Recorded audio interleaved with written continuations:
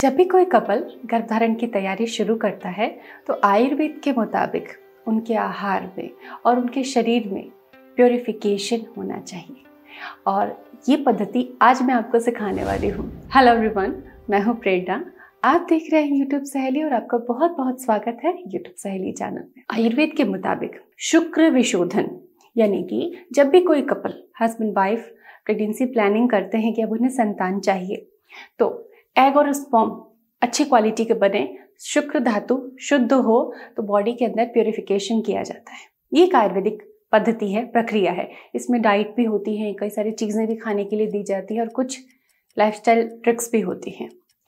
ये चीज़ें हम आज सीखेंगे। बहुत इंटरेस्टिंग है, बहुत इजी है। आप खुद से इसको घर पे फॉलो कर सकती है। इसमें आपको बस एक चीज़ को यूज़ करना है हफ़्ते में एक बार। बहुत अमेजिंग रेमेडी है और बहुत ही इफ़ेक्टिव आज हम सीखेंगे कि कैस्टर ऑयल से किस तरीके से शुक्र विशोधन, यानी एग और वम को किस तरह से प्योरीफाई करते हैं और गर्भ धारण की प्रक्रिया को सरल बनाते हैं और बहुत अच्छी संतान पा सकते हैं। फ्रेंड्स कैस्टर ऑयल का जो विधि मैं आपको बताने वाली हूँ, ये ना केवल आपको गर्भधारण के लिए तैयार करता है, बल्कि गर्भधारण से पहले फिजिकली मेंटली इमोशनली आपको प्रिपेयर कर देता है। प्योरीफाई कर देता है। बहुत ही अमेजिंग है। इसके बहुत सारे लाभ आपको मिलेंगे अगर आप इसे फॉलो करेंगे। साइड इफ़ेक्ट की कोई जगह नहीं है। बहुत ही इजी प्रक्रिया है। अगर गर्भ धारण के लिए कैस्टर ऑयल का यूज़ देखा जाए तो दो तरीके से होता है। एक बाहर से और एक अंदर से। तो बहुत ज़्यादा ध्यान देने की बात है कि कैस्टर ऑयल जब हम शरीर पे बाहर से यूज़ करते हैं, वो ही कैस्टर ऑयल हम अंदर से, यानी कि फ़ूड के थ्रू उसको हम खा नहीं सकते, ले नहीं सकते। खाने वाला कैस्टर ऑयल अलग होता है। तो आप जब भी कैस्टर ऑयल परचेज करें, ध्यान रखें कि जो आपको कंज्यूम करना है, वो लेबल्ड हो कि ये खाने योग्य है और उसी को आप खाने में प्रयोग करें।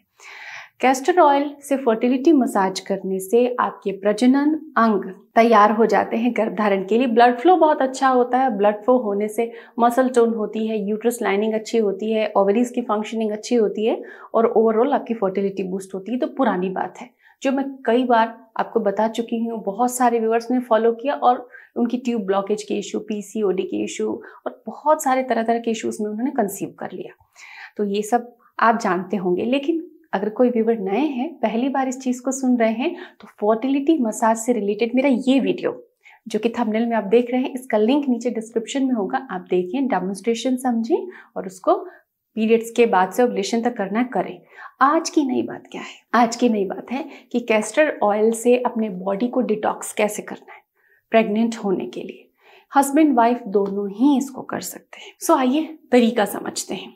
सबसे पहली बात हफ़्ते में एक बार आपको ये काम करना है।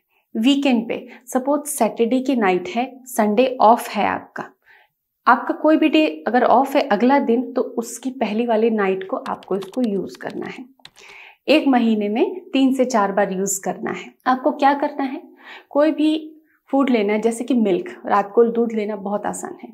एक कप दूध के अंदर एक चम्मच, यानी कि पाँच M L, five M L खाने वाला कैस्टर ऑयल ऐड करना है। स्टिर करना है अच्छे से और उसको पी लेना है बिफोर स्लीप अगले दिन मॉर्निंग में जब आप उठेंगे तो आपका पेट पूरी तरह से साफ़ होगा.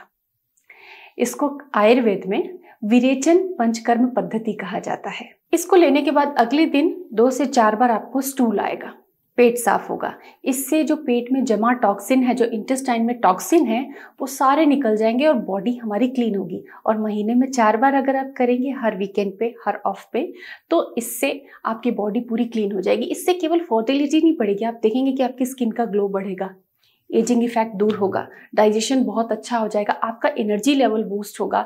इनफर्टिलिटी के सारे इश्यूज़ में पीसीओडी में ओवेरियन सिस्ट में यूट्रस रिलेटेड इश्यूज़ में कॉन्स्टिपेशन में, हर प्रॉब्लम में आप इस विरेचन पद्धति को फॉलो कर सकते हैं। ओविलेशन नहीं होता। आप सारी तरह से फिट हैं। लेकिन आप कंसीव नहीं हो रहा तो इसको ट्राई करें। विरेचन को ट्राई करें। डिटॉक्सिफिकेशन का प्रोसेस है।